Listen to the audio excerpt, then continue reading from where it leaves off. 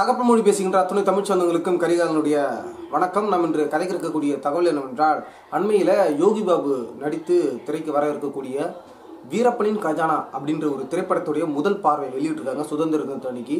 இப்போ அந்த முதல் பார்வை வந்து மிகப்பெரிய ஒரு சர்ச்சையை ஏற்படுத்திருக்குன்னு சொல்லலாம். முழுக்க முழுக்க வீரப்பனுடைய வாழ்க்கை வரலாற்றையும் வீரப்பனை பற்றி கொச்சைப்படுத்தக்கூடிய ஒரு திரைப்படமாக இது இருக்குது அது முதல்ல அந்த திரைப்படத்தோட டைட்டிலே பார்த்தீங்கன்னா வீரப்பனின் கஜானா. இதுவே வீரப்பனை வந்து ஒரு கஜானா சேர்க்குறாங்க அப்படின்னா ஒரு தொழில் ரீதியாக வர்த்தக ரீதியாக அதாவது மக்கள் எப்படி சொல்கிறது மக்கள் இடத்துல புடிங்கி தின்னவனை வந்து அந்த அப்படி சொல்கிற மாதிரி வந்து இந்த திரைப்படத்தில் வந்து டைட்டிலே அப்படி இருக்குது வீரப்பனின் கஜானா அப்படின்ட்டு.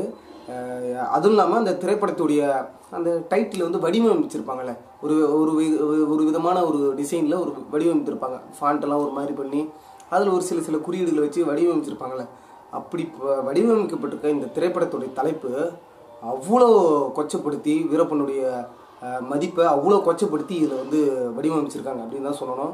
நீங்கள் உங்கள் கண் முன்னாடி நான் அதை காட்ட விரும்புகிறேன் இதுதான் அந்த டைட்டிலோட டிசைனு. இந்த டிசைனில் முதல் விஷயம் பார்த்தீங்கன்னா இந்த கஜானா அப்படின்னு இருக்கிறது கீழே வந்து யானை தந்தம் இருக்குது. இந்த யானை தந்தத்தில் பார்த்தீங்கன்னா இது எதை உணர்த்துது அப்படின்னா வீரப்பன் வந்து யானைகளை கொன்றார். தந்தத்தை விற்று விற்று வியாபாரம் பண்ணார் அப்படின்னு சொல்லக்கூடிய அளவிற்கு அதை சொல்லியிருக்காங்க. ரெண்டாவது விஷயம் பார்த்தீங்கன்னா சிங்கத்துடைய குறியீடு வச்சுருக்காங்க. சிங்கத்தை எதை இந்த இடத்துல வைக்கிறாங்க அப்படின்னா ஒரு சமூகம் சார்ந்த ஒரு நபராக இதில் காட்ட விரும்புகிறாங்க ஏனென்றால் இப்போ தமிழக அரசியல் பார்த்தீங்கன்னா சிங்கம் சிறுத்தை இருந்து சமூக ரீதியான ஒரு பிளவுல கொண்டு வரக்கூடிய ஒரு குறியீடுகளாக இருக்குது இப்போ நீ சென்னை சூப்பர் கிங்ஸில் இருக்கிற அந்த சிங்கத்தை வடிவைத்து கூட ஒரு சமூக குறியீடாக இப்போ நிறைய பேர் பயன்படுத்துகிறாங்க நீங்கள் திரைப்படத்தில் பார்த்தீங்கன்னா சிங்கம்னு ஒரு திரைப்படம் வரும்போது ஒரு சமூகத்தினர் வந்து அந்த பேருக்காகவே தூக்கி கொண்டாடினாங்க கார்த்தி சூர்யாவை. அதே மாதிரி சிறுத்தை அப்படின்னு ஒரு படம் வரும்போது கார்த்தி இன்னொரு சமூகத்தினர் சேர்ந்து தூக்கி கொண்டாடினாங்க. இன்று வரைக்கும் அந்த சிறுத்தை அப்படின்ற அந்த ஃபாண்ட்டை கூட இன்ன வரைக்கும் விடுதலை சிறுத்தைகள் இருக்கக்கூடியவர்கள் பயன்படுத்திட்டு வராங்க. அது மாதிரி இந்த இடத்துல வந்து சிங்கத்தை வந்து காட்டுவதற்கு எதற்காகன்னா வீரப்பன் ஒரு சமூக ரீதியானவர். ஒரு சமூகம் சார்ந்தவர் ஒரு சமூகத்துக்காகவே வாழ்ந்தவர் அப்படின்ற மாதிரி காட்ட விரும்புகிறாங்க இது ரொம்ப தவறான ஒரு விஷயம். ஏன்னா வீரப்பன் தனி ஒரு சமூகத்திற்காக மட்டும் இல்லை ஒட்டுமொத்த தமிழ் சமூகத்திற்காக பாடுபட்டவர். அதை வந்து கொச்சப்படுத்த மாதிரி ஒரு சமூகத்தை சார்ந்தவர்ன்ற மாதிரி இதில் வந்து காட்ட விரும்புகிறாங்க மூணாவது விஷயம் தான் ரொம்ப ரொம்ப ஒரு அவமதிக்கிற விஷயம் வீரப்பனுடைய புகைப்படத்தை வந்து உருவப்படுத்த ஒரு கேளிக்கை சித்திரமாக ஒரு கார்ட்டூன் மாதிரி இதில் தயார் பண்ணி போட்டுக்கிறாங்க இதையவே கண்டிக்கத்தக்கக்கூடிய ஒரு விஷயம். அதுலேயும் பார்த்தீங்கன்னா அவர் கழுத்தில் புலி பல்லு.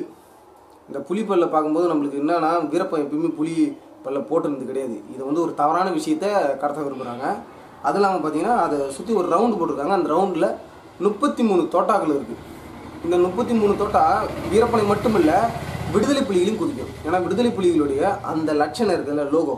அதுலேயும் முப்பத்தி மூணு தோட்டாக்கள் இருக்கும். அது வந்து ரொம்ப தவறான ஒரு விஷயம். இதெல்லாம் இது மாதிரிலாம் அவங்க வந்து நம்ம வந்து கொச்சப்படுத்துற வகையில் திரைப்படம் எடுக்கிறது வந்து ரொம்ப தவறான வந்து சமீபத்தில் வந்து தமிழ் தேசியர்களை கொச்சப்படுத்துகிற மாதிரியும் தமிழ் தலைவர்களை கொச்சப்படுத்திக்கின்ற மாதிரியும் தமிழ் தேசியத்தை எதிர்த்த மாதிரி பல திரைப்படங்கள் வந்துகிட்டு இருக்குது. இப்போ நம்ம ஃபேமிலி மேன் டூ திரைப்படத்தை எதிர்த்தோம். அதன் பிறகு சாயம்னு ஒரு திரைப்படத்தில் இதே மாதிரி ஃபர்ஸ்ட் லுக்கில் வந்து விடுதலை புலிகள் கொடியை வந்து ஒரு சில சமூக கொடிகளுக்கு மத்தியில் வச்சது வந்து ரொம்ப தவறான ஒரு விஷயமா. அதை எதிர்த்தான் அதன் பிறகு அவங்க நீக்கிட்டாங்க. இப்போ இது மாதிரி வீரப்பனை வந்து கொச்சப்படுத்துகின்ற மாதிரியான ஒரு தலைப்பையும் அந்த குறியீடுகளும் வைத்திருப்பது வந்து ரொம்ப ரொம்ப அருவருத்தக்க ஒரு விஷயம். இப்போ எதனால் இவங்க இது மாதிரி படம் எடுக்கிறாங்க அப்படின்னா தொடர்ச்சியாக நம்ம நம்மளுடைய எதிர்ப்புகளை தெரிவித்த பிறகும் இது மாதிரியான படம் எடுக்கிறாங்க அப்படின்னா அவங்க என்ன சொல்ல வராங்கன்னா இன்னும் உங்களுடைய எதிர்ப்பு பத்தலை அப்படின்றாங்க. அதாவது நம்ம வலிமையாக இன்னும் அடிக்கலைன்னு நினைக்கிறேன். அப்போ வலிமையாக அடிச்சிருந்தோம் அப்படின்னா இது மாதிரியான திரைப்படங்களை எடுக்க மாட்டாங்க. இதே தெலுங்குகளுக்கு எதிராக ஏன் இந்த திரைப்படம் எதுவுமே வரல? ஏன் மலையாளிகளுக்கு எதிராக திரைப்படம் வரல? ஏன் தமிழர்களுக்கு எதிராக மட்டுமே திரைப்படங்கள் வருது?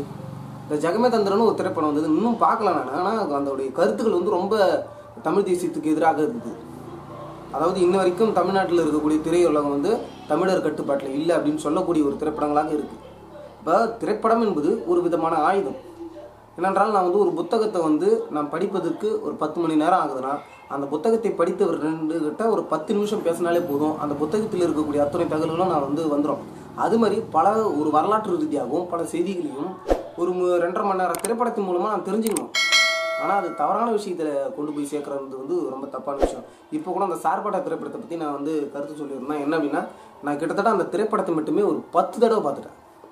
எனக்கு ரொம்ப பிடிச்சிருக்கு அந்த திரைப்படம். ஆனாலும் அந்த திரைப்படம் அருமையாக எடுக்கப்பட்டிருந்தாலும் அதில் சொன்ன விஷயம் தப்பு. திமுகவை வந்து ஒரு ஹீரோவாக வச்சு அந்த திரைப்படத்தில் சொல்லியிருக்கோம் பார்த்தியா அது ரொம்ப ரொம்ப ரொம்ப ரொம்ப தப்பான ஒரு விஷயம். அதனால் இது வந்து ஒரு தவறான விஷயத்த அப்படியே மக்களுக்கு பிடிச்ச வகையில் கொண்டு போய் சேர்க்கறது வந்து ஒரு ஒரு விதமான யுக்தியாக இருக்குது அதை நிறைய பேர் பயன்படுத்திட்டு வரான் இப்போ நல்லா பார்த்துருப்போம் விஜய் சேதுபதி. அடிமட்டத்திலேருந்து வந்த நடிகர் அப்படின்ற ஒரு ஆதாயத்தோடு அவர் வந்தவர். திடீர்னு எட்நூறு படத்துக்கு வந்து நிற்கும்போது அப்போ நம்ம எதிர்ப்பு தெரிவிக்கிறோம். ஆனால் இருந்தாலும் அந்த நிமிஷம் நம்ம கூட இருக்கக்கூடிய நம்ம இனத்தவனே விஜய் சேதுபதிக்கு ஆதரவாக நின்று பேசலாம் தெரியுமா? எந்த நிலைப்பாட்டில்? ஜி சேதுபதி ரசிகர் அப்படின்ற நிலைப்பாட்டில் எட்நூறு படத்துக்கு ஆதரவு தெரிவிக்கிறான் யார்? நம்ம அங்காளி பங்காளி. அதே மாதிரி யோகி பாபு. யோகி பாபு மேலே ஒரு நல்ல மதிப்பு இருக்குது இன்ன வரைக்கும். ஏன்னா அடிமட்டத்துலேருந்து வந்தவர் அழகு இருந்தால் தான் வந்து திரையுலகில் சாதிக்க முடியும் அப்படின்ற ஒரு அந்த நிலைப்பாட்டை உடைச்சவர் அப்படின்னு நம்ம பெரும் மதிப்பு வச்சுருந்தோம். ஆனால் இந்த திரைப்படத்தில் நடித்து அவர் அவரோட மதிப்பை வந்து கொச்சப்படுத்திட்டார். யாரானாலும் இருக்கட்டும் எவரானாலும் இருக்கட்டும். ஆனாலும் நம் இனத்திற்கு எதிராக ஒரு திரைப்படம் எடுக்கிறார் என்றால் அதற்கு உதவியாக யார் இருக்கிறார் என்றாலும் நாம் எதிர்ப்புகள் தெரிவித்து தான் ஆகணும். என் அன்பான சொந்தங்கள் இனமான சொந்தங்களுக்கு நான் தெரிவித்துக் கொள்வது என்னவென்றால் இந்த திரைப்படத்தை வெளியிட விடக்கூடாது. நம்ம வலிமையாக நம்மளுடைய எதிர்ப்புகளை தெரிவிக்கணும். இது தெரிவித்தால் மட்டும்தான் இது மாதிரியான திரைப்படங்கள் வந்து வராது அப்படின்றத நான் தெரிவிக்கும் எதற்காக இது மாதிரி திரைப்படம் எடுக்கிறாங்க? எதற்காக எடுக்கிறாங்க? முதல்ல பிரபாகரன் மேலே கை வச்சாங்க. எதுக்கு?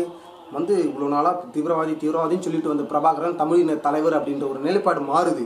அது வந்துடக்கூடாது அப்போ அதை உடைக்கணும். அதனால பிரபாகரன் மறுபடியும் தீவிரவாதி ஈழ ஈழ விடுதலை குறித்து பேசுகிறவர்கள்லாம் தீவிரவாத செயல்கள் ஈழ போராளிகள் எல்லாருமே தீவிரவாதிகள் அப்படின்னு சொல்கிற மாதிரியே ஆனால் ஒரு படத்தை எடுத்துன்னு வரணும் அப்படின்னு ஃபேமிலி மேன் டூவை எடுத்துன்னு வந்து நிற்கிறான் அதே தான் வீரப்பனுக்கிடம் வீரப்பன் ஒரு தமிழ் தேசிய போராளி அப்படின்னு நம்ம பேசிகிட்டு இருக்கும்போது இல்லை இல்லை அவர் வந்து தீவிரவாதி தான். கடத்தலுக்காரர் தான். அவர் கொலகாரன் தான். அப்படின்னு சொல்லு விதமாக சில திரைப்படத்தெல்லாம் கொண்டு வந்து இறக்குறான். நம்மளை திருத்துறான். எப்படியும் நம்மளை மாத்துறான் நம்மளுடைய அந்த நம்ம ஒரு ரிவல்யூஷன் நடக்குதுல ஒரு புரட்சி நடக்குதுல அதை தடுக்கிறதுக்காக இது மாதிரியான வேலைலாம் செய்கிறாங்க வீரப்பனுடைய கஜானான்ற வீரப்பனுடைய கஜானான்ற இப்போ நான் வெளிப்படையாக சொல்கிறேன் அப்படி கஜானா வைக்கிற அளவுக்கு அவர் என்னடா மதிப்பு வச்சிருந்து அவளை என்ன சொத்து சேர்த்து வச்சிருந்தாரு? சொத்து குழிப்பு வழக்கில் ஜெயலலிதாவே உள்ளே போனாங்க. கருணாநிதியுடைய குடும்பத்துடைய சொத்து மதிப்பு இன்னும் வாட்ஸ்அப்பில் வளர்ந்து வந்துகிட்டே இருக்குது. இவருக்கு அத்தனை கோடி இவருக்கு இத்தனை கோடி இவருக்கு இங்கே சொத்து இருக்குது இங்கே சொத்து இருக்குது இன்னும் வந்துட்டு தான் இருக்குது. இவங்களுடைய கஜானா பற்றி யாரும் படம் எடுக்கலையே? வீரப்பனுடைய கஜானா என்ன? வீரப்பனுடைய கஜானா என்ன? ஒன்றும் இல்லை. தமிழ் தேசியர்களோட மதிப்பு. தமிழ் தேசியர்களோட நம்பிக்கை. இல்லைங்களா? அந்த சத்தியமங்கல காடு ஒட்டி இருக்கக்கூடிய மக்களின் நம்பிக்கை இதுதான் வீரப்பனுடைய கஜானா. ஒத்த பைசா கூட வீரப்பனுடைய கஜானா கிடையாது. முழுக்க முழுக்க மக்களுடைய மதிப்பு தான் வீரப்பனுடைய கஜானா. தெரிஞ்சு இதெல்லாம் நம்ம என்ன சொல்ல போகிறது தெரியல. என் அன்பான சொந்தங்கள் மறுபடியும் சொல்கிறேன் இந்த திரைப்படம் வெளியிடக்கூடாது.